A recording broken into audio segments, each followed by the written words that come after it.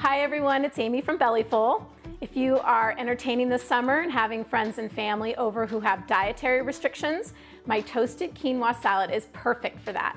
It is accidentally gluten-free, dairy-free, vegetarian, and even vegan. So it's perfect for a crowd.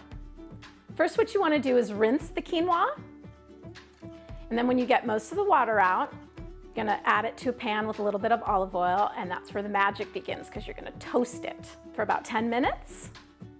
And then you're gonna add in your water, and then you're gonna cook it for about 18 to 20 minutes. Then you're gonna take off the lid and fluff it with a fork and let it cool.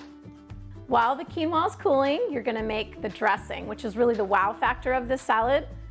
So in a large bowl, you're gonna whisk together olive oil, garlic, salt, fresh lime juice, which gives it this great zesty flavor, jalapeno, which gives it this great kick, and some cumin, which I love, one of my favorite seasonings.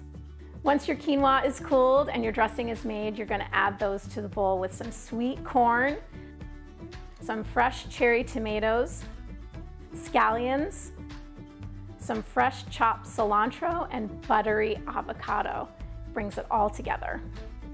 Whenever I serve this for families or friends, they always ask for the full recipe.